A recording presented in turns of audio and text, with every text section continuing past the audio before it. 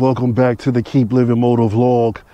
I am the KL Rider. So uh, I've been away for a while. Uh, had a little bit of a vacation. We're back to doing more videos. So this video is going to be about uh, clutch control, and we're going to give all you new riders, brand new riders, whether you've been riding for a while and you need to learn something a little bit different. I'm going to show you guys actually how I use my clutch and I'm going to show you something that uh, that maybe nobody's really shown you before. Um, so let's get into it. And if you pair this video with one of my uh, latest videos, which is throttle control, when you apply that video with this video right here, I think this is really going to help you be uh, a better rider. So let's get into this clutch control stuff.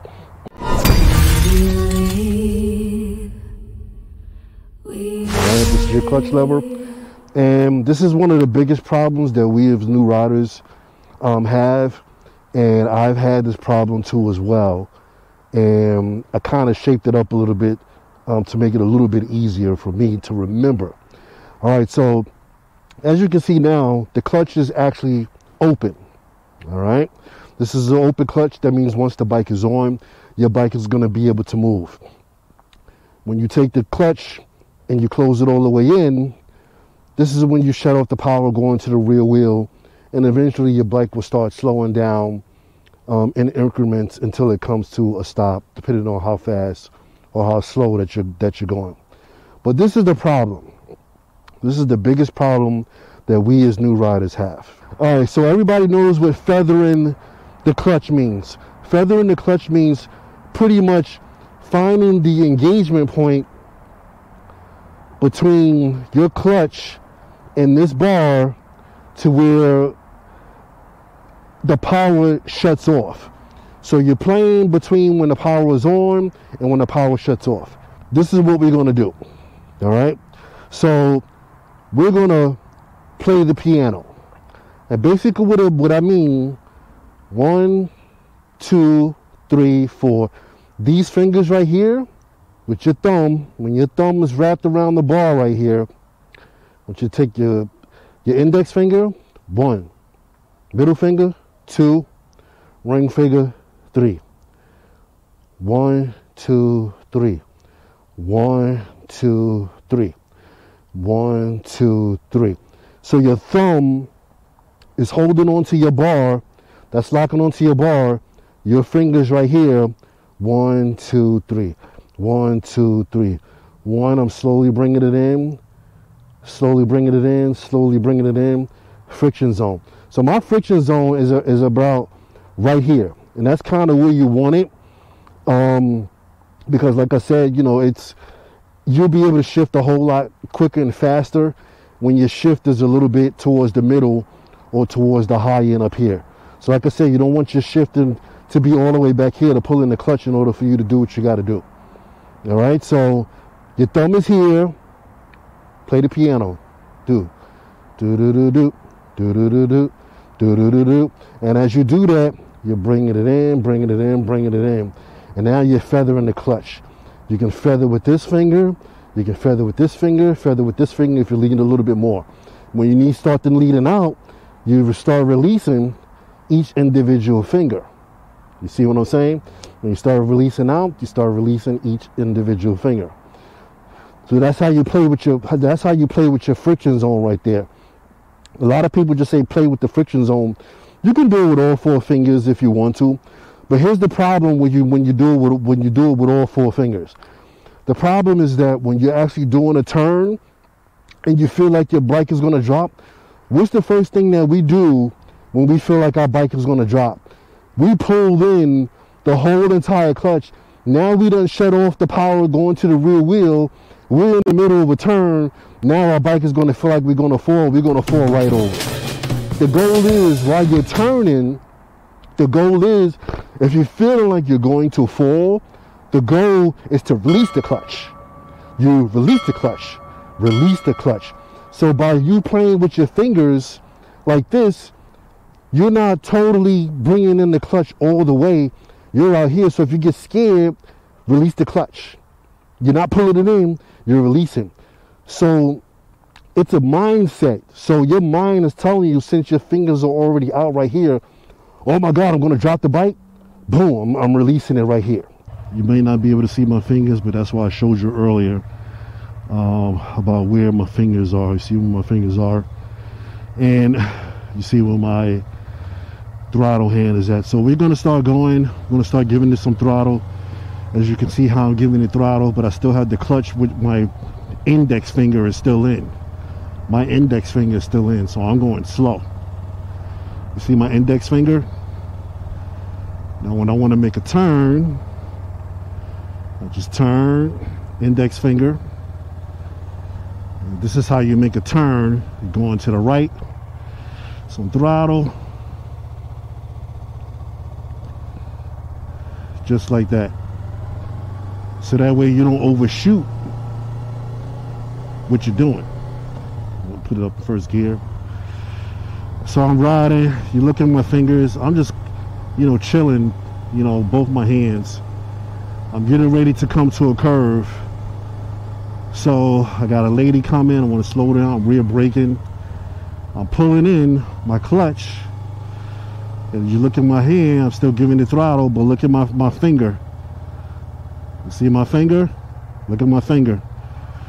It's just that one little finger was pulling in the clutch playing with the friction zone. You see how, you see that noise? I'm giving it a lot of throttle. not going nowhere because look at my finger. That's what you want to do. So you can use your index finger or your uh, your middle finger. All right, we're coming around a curve. Look at my finger. You see my finger? Now I'm getting off it, letting the throttle through his thing. I'm coming to some speed bumps. I slow down. I go in between. This is my finger. Look at my finger. The car is coming. I'm going to go to the right side.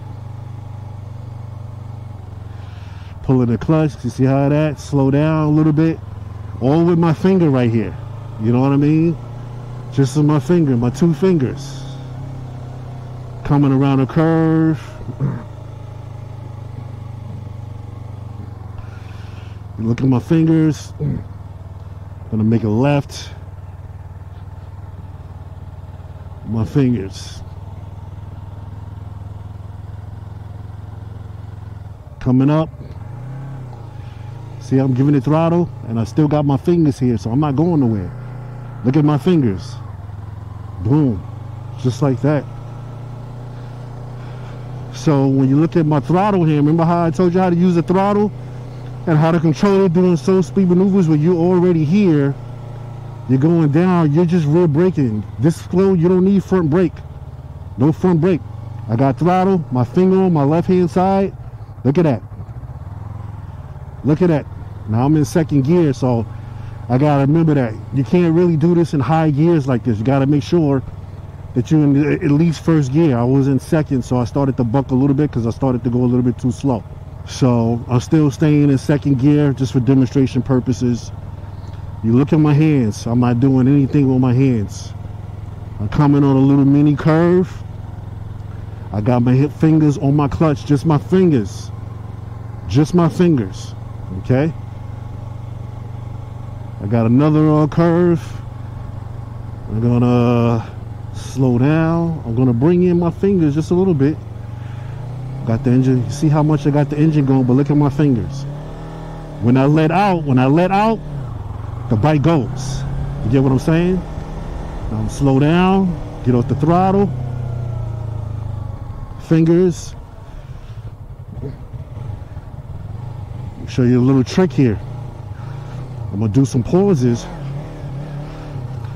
Do some pauses right here you see this? This is all throttle. This is all throttles. And with my and with my finger. You see my fingers? I'm not to drop the bike. I'm not to drop the bike. I'm giving it throttle. You see I'm giving it throttle I'm not even using rear brake look at the miles per hour I'm going You see the miles per hour that I'm going? It's four miles an hour. Now I'm gonna go.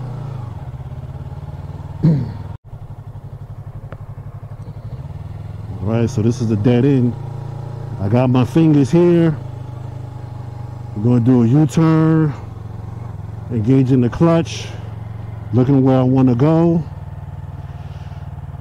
Boom, just my index finger. If you look at my index finger, that's all the friction zone that I needed to make that U-turn. Come here, need to make a U-turn. You can use rear brake if you want to.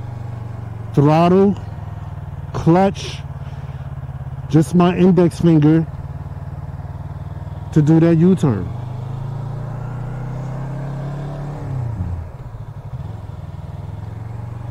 It's as simple as that. All right, so I'm coming to a left turn. Got my clutch throttle. I'm using my middle finger this time. That's all I'm using is just these. It's just these two fingers right here, basically. I didn't even use the third finger yet. Clutch. You'll know when you're using the clutch when you feel you pull it in and you're giving it throttle and the bike is not going nowhere. That's how you know you're giving it clutch, but you're slowing it down at the same time. Going to a turn. Clutch, a little bit of clutch. And you don't have to, but I'm just showing you for demonstration. Just showing you for demonstration purposes.